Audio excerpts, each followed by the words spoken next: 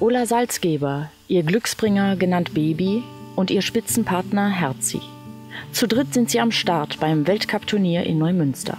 Ich fühle mich hier sehr zu Hause. Ich reite unheimlich gern in der Halle, hier in der Holstenhalle in Neumünster. Und von daher war es eigentlich recht gemütlich, was die Nervenanspannung angeht. War halt ein bisschen ärgerlich, dass ich wieder einen Fehler eingebaut habe bei meinen Einerwechseln.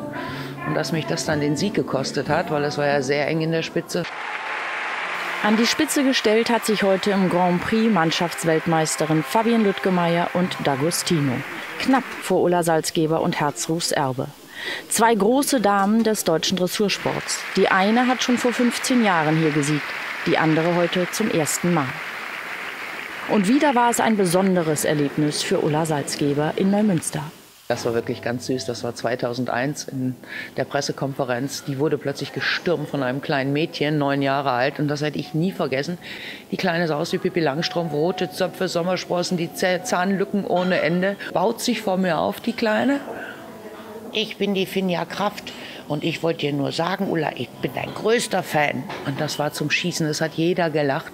Und das Nette an der Geschichte ist, die ist also dann auch später hier ähm, im Landeskader geritten für Holstein. Also ist irgendwie mir hinterhergekommen.